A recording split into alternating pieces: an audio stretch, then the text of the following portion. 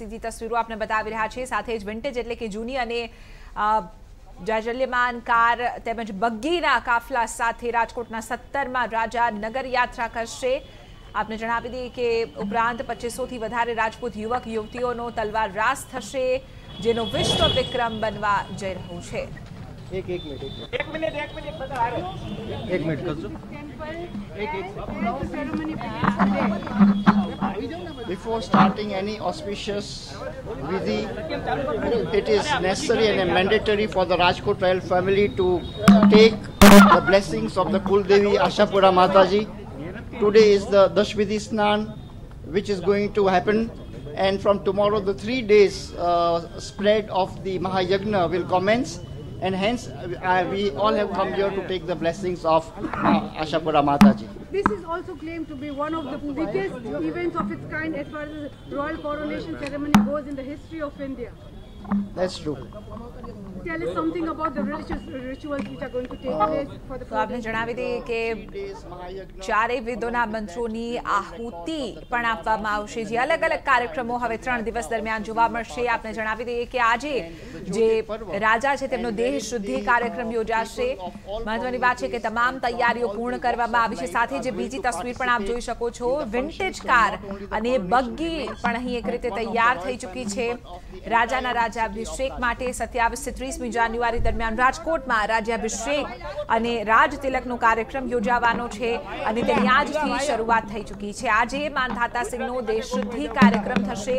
એ પહેલા જે રીતે માનધાતા સિંહ કહી છે કે માતા આશાપુરાના તેઓ આશીર્વાદ લઈને આ કાર્યક્રમની શરૂઆત કરાવશે. સાથે જ ભગવાન વિષ્ણુની વિશેષ પૂજા અર્ચનાથી પણ આ જે સમગ્ર કાર્યક્રમ છે તેની શરૂઆત થશે. રાજકોટમાં આપણે જણાવી દઈએ કે સત્તરમાં ઠાકોર માનધાતા સિંહ જાડેજાના રાજ્યાભિષેકને લઈને શાહી તૈયારીઓ પૂર્ણ થઈ ચૂકી છે અને હવે જે કાર્યક્રમ છે જે ઘડી અને જે ઐતિહાસિક પળનું સાક્ષી રાજકોટ બનવા જઈ રહ્યું છે એ પળ શરૂ થઈ ચૂકી છે. આપને જણાવી દઈએ કે અલગ અલગ કાર્યક્રમોનું આયોજન કરવામાં આવ્યું છે. તલવાર રાસને લઈને પણ અનોખું આકર્ષણ છે. આપણે સાથે ત્રણ દિવસનો મહાયજ્ઞ જે આપણા શાસ્ત્રોક્ત વિધિ પ્રમાણે આપણા બધા તત્વોને આપણી પરંપરાને ઉજાગર કરતો જે યજ્ઞ થવાનો છે એ કાલથી જ્યારે શરૂ થાય છે ત્યારે આજે જ્યારે કોઈ પણ આપણે પવિત્ર કાર્ય હાથમાં આપણે લઈએ છીએ ત્યારે માં આશાપુરા માતાજીના ચરણોમાં માથું ટેકાવીને રાજકોટ રાજ પરિવાર કાર્ય ચાલુ કરે એ આપણી પ્રણાલી રહી છે. અને એટલા માટે આજે માં આશાપુરા માતાજીને ત્યાં આવી માથું નમન કરી, નતમસ્તક વંદન કરી અને પ્રાર્થના કરી છે કે અમે નિર્વિઘ્ન રીતે અમારું આ જે શુભ કાર્ય છે એ સંપન્ન થાય અને આજે અત્યારના દશ વિધિ સ્નાન અને બધી માટીઓ ને જે છે કે પર્વતની જે માટી છે, સમુદ્રની માટી છે હાથીના દાંતથી ઉખાડેલ માટી છે, બળદના પગથી ઉખાડેલ માટી છે, આપણે ગોમતી ઘાટની માટી છે, રાજમહેલની માટી છે.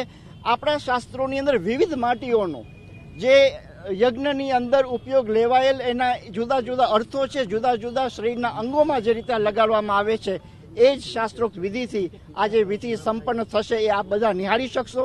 અને હું આપ બધાનો અંતકરણથી આભાર વ્યક્ત કરું છું કે આપના માધ્યમ દ્વારા આ ભારતીય સંસ્કૃતિ, પરંપરા અને સંસ્કારોને ઉજાગર કરીને લોકો સુધી પહોંચાડવા માટેની જે જહેમત ઉઠાવી છે, એમાં કોઈક વાર આપને કોઈ અગવડતા થઈ હોય તો મને માફ કરજો.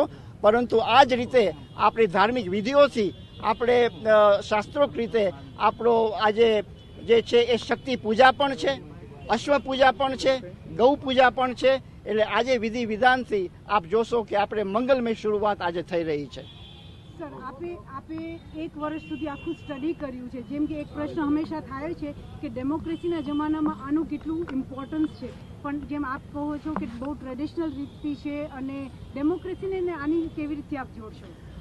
આની અંદર હું એ રીતે મૂલવું છું કે આપણે રાજાશાહી, લોકશાહી અને ધર્મ સંસ્થાનું એક અદ્ભુત સમન્વય છે.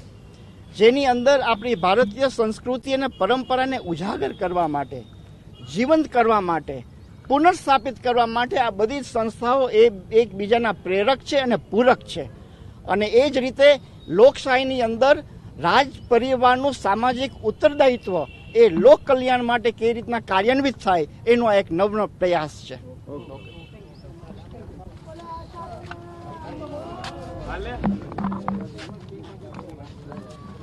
જણાવી દઈએ કે જે તમામ કાર્યક્રમ છે તેની શરૂઆત આજથી થઈ રહી છે અને તેને લઈને તમામ જાણકારી પણ માનધાતા સિંહ કે જેઓ રાજકોટના હવે નવા રાજા છે સાથે આ જે કાર છે તે પણ આપ જોઈ શકો છો.